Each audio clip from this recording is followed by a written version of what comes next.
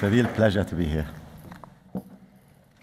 Now, in the next 20 minutes or so, I would like to talk to you about a, a project, a digital platform that is close to my heart and which I've been working on for nearly a decade the Brain Data Bank.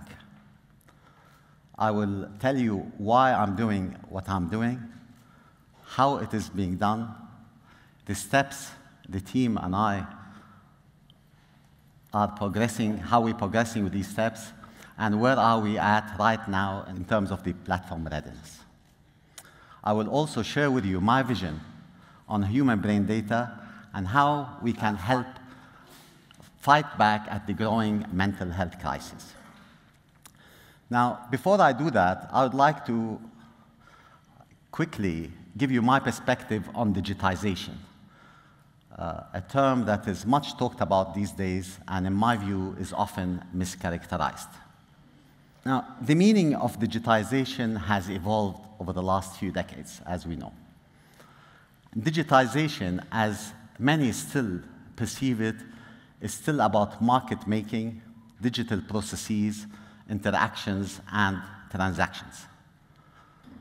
It's about communication and applications, from enterprise resource planning systems to business workflow tools to other commerce and other transactions. Now, we know that organizations who digitize those areas of business in time have kept up with their sector times. And the ones who struggle to transform are either still struggling today or have gone out of business. So I would therefore argue that digitizing these areas does not now give an organization a competitive advantage. It is a, a survival tool, a necessity.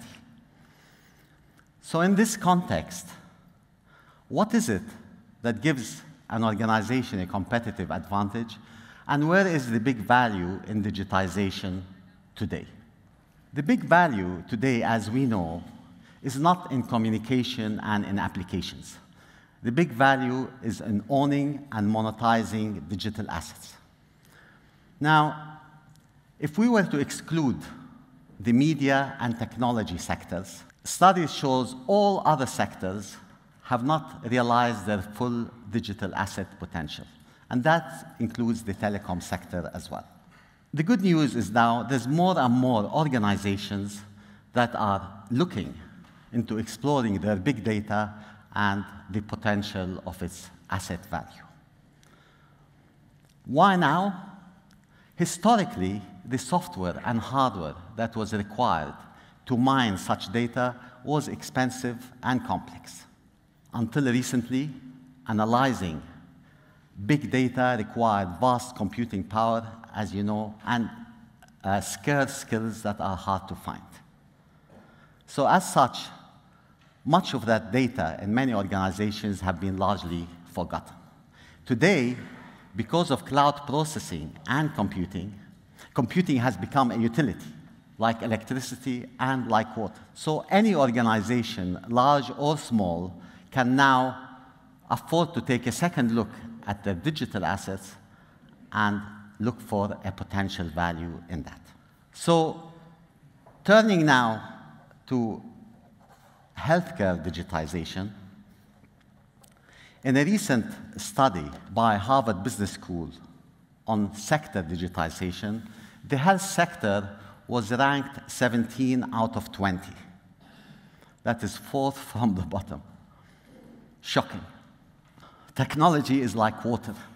It moves where it can. And as such, the health sector's high regulatory barriers contributed to making it way back in terms of, way behind in terms of digitization. Now, there are other factors too, I believe the health sector has traditionally, and across the world, I'm speaking generally here, has been underfunded and often operates in a crisis mode. Now, a new factor here, within the health sector, there has been a surge in mental and neurological conditions in recent decades.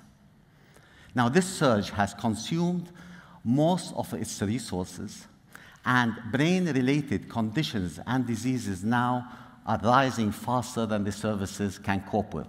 And that's not just Switzerland, all over. In Europe, brain disorders cost Europe over 700 billion euros every year and represents 35% of Europe's total disease burden. Here in Switzerland, there are over 2 million people suffering from a brain disorder of some kind. That's over 25% of the population. The annual assessment and treatment costs for the health services for these disorders is close to 20 billion Swiss francs. Now, looking broadly at the health sector in Switzerland, according to Credit Suisse research, healthcare costs in Switzerland are expected to rise in the next two decades by 50%. That's a 3% year-on-year increase almost. Economists here are also predicting that an additional 185,000 full-time jobs will be required to cover the health services demands over the next 20 years, by the year 2040. So that, again, is a 50% rise on the existing 360,000 strong healthcare workforce here. On the funding side, it is equally challenging for the healthcare sector. A significant proportion of planned investments in Swiss hospitals is still not yet being financially secured, apparently. And as things stand today, only around a quarter of hospitals here in Switzerland are self-sustainable. Now, let's think for a moment that we have a financial services sector that is as poorly digitized, and I'm not talking in Switzerland, across the world, as the health care sector is. Where would the world economies be today? How would our financial transactions be handled, from trading to banking to risk analysis? Now, if we imagine if we can digitize the health services sector at the same level of sophistication as the financial services. How will this impact our lives and our families' lives? Can our, my generation afford to keep talking about digitizing the health sector and failing to deliver? Now, turning to the Brain Data Bank, which is the subject or the, the key part of my talk. Why do we need a human brain data bank? Many of you know that most brain disorders are still not fully understood. The human brain is a vast frontier that researchers are just beginning to unlock. And such exploration is key to unlocking a new generation of treatment for both mental conditions and neurological diseases. Now, improving diagnosis and treatment require new discoveries in research. And good research projects require reliable and accessible data. Now, brain data is big data and it's hard to find. The outcome today is that across the globe, patients and other stakeholders are not being given 21st century solutions when it comes to healthcare and, in particular, brain related conditions. And this has produced, as we saw earlier in the figures I mentioned, a negative impact on cost, productivity in this sector, and above all, patient care. And it affects all of us we are all stakeholders when it comes to the brain. We all have one. Now, in the last decade or so, I met some of the most brilliant professionals working on human brain research and treatment. If we give these professionals the right tools, I'm convinced that we will transform our understanding of the human brain and in doing so, affect the lives of millions of sufferers. Today, the organ that we understand least on is the brain. It is immensely more complex than all other organs. Only recently, tools have allowed scientists to explore it in detail, but we still do not understand how it works beyond its basic functions. We have a theory for the universe, but we do not have today a theory for the brain. And in the last 30 years, space research has advanced in leaps when compared to brain research. Now, one significant difference between these two areas of complex science is that space research data is shared even amongst rival nations, while human brain data is not. My goal from deploying this platform, platform is to help accelerate scientific progress in our understanding of the human brain, in the treatment of brain-related conditions, and in helping find new preventative ways to slow down this alarming rise in mental health conditions all over the world. Today, most human brain research is done on mice.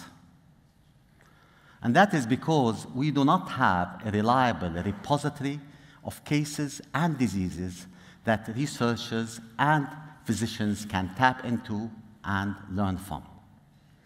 So, we turn to analyzing rodent brains instead. And whilst thanks to dedicated scientists, and despite the complexity, we were able to uncover a lot of knowledge this way, it is still far from ideal to rely primarily on this form of research for all the obvious reasons. Now, it reminds me of this funny story that I will share with you. A policeman one night saw a man under a streetlight on his hands and knees. So he came over and said, What are you doing? He said, I lost my keys over there. And he pointed to a dark area on the street. So the officer, puzzled, he said to him, Well, if you've lost your keys over there, why are you looking for them here? And the man said, Because that's where the light is.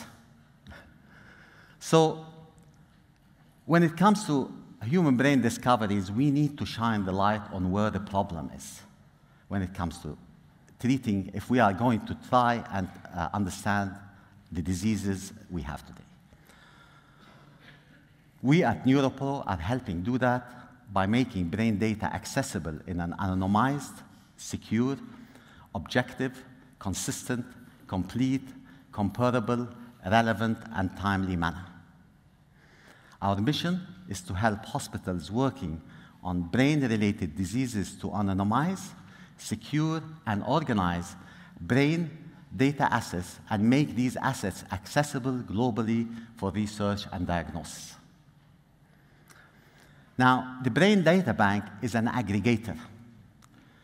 It's enabling the licensing of verified, well-documented brain cases of anonymized patients to organizations and institutions. The type of data that we're holding today is uh, MRI, EEG, CT scan, video, and other types of data, all big data. Now, in essence, this plot platform connects a two-sided market. On the supply side, medical institutions, the providers of data, upload their cases or deposit these cases, as one says. And on the demand side, institutions register to view, browse, process, or download deposited cases. We also plan to provide the total deployment solution, legal compliance, digital assessment, asset due diligence, software platform, migration tools, and most importantly, the funding and training needed to help Swiss hospitals join. Once they've joined, we manage this data using our own platform, in-house developed, with advanced front-end uh, desktop and mobile interfaces. We make it accessible and monetizable and provide hospitals with a new form of income. We, from our side, recover our costs once the hospitals start to generate revenue.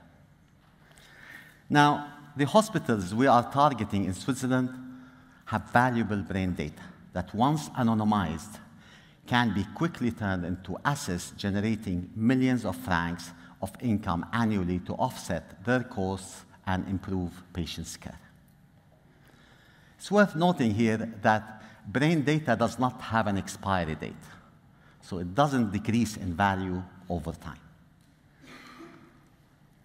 Now, I see all stakeholders as winners from this platform. Those on the supply side here in Switzerland, and those on the demand side here and all over elsewhere. On the human side, I have not a shred of doubt that such initiative will most certainly, certainly accelerate research and help improve brain-related disease treatment. If data is the oil of the 21st century, as is often being said these days, then I think brain data must rank as its finest crude. Consider for a moment a global pharmaceutical company working, say, on dementia. And they learn that they can have, with great ease, access to large volume of well-documented dementia cases. Can they afford to ignore it? I very much doubt it.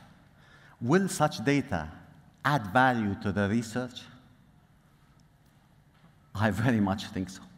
Brain data is high in demand, with the biggest winners from making this data available is the patients today that are suffering from mental and neurological conditions. Now, we are targeting 80 hospitals out of the 300 or so hospitals here in Switzerland. And these hospitals specialize in neurological disorders and Uh, brain diseases. And for the last two years, we have been trialing our platform of one of these leading hospitals. We've listened carefully to their comments and their feedback and built all the necessary enhancements and safeguards. A significant time we spent was on anonymization and security to ensure that the high regulatory and ethical compliances here are fully met. We are now aiming to launch our platform in the fourth quarter of this year. Now, if we look at the telecom sector in this context, and according to the World Economic Forum, and I quote, the telecommunication industry have traditionally been quick to recognize the opportunity that digital services represent, but they haven't been able to capture significant value at the scale and speed of digital disruptors. End quote. If this is true, it may be due, looking as an outsider into this industry, may be due to the fact that this industry is still being perceived as a utility. And this perception is changing, as we know, as more of the telecom companies now are engaged in adding uh, value-added services to their offerings. Now, the health sector has tremendous opportunities. And in this regard, I invite you to help turn the spotlight stronger in Switzerland on health sector digitization. So, to end, we must find ways for technology to provide vastly lower cost health solutions to vastly more people. And I truly believe only when we find the courage to tackle health sector digitization head on, we can see this happening. Thank you so much. Thank you.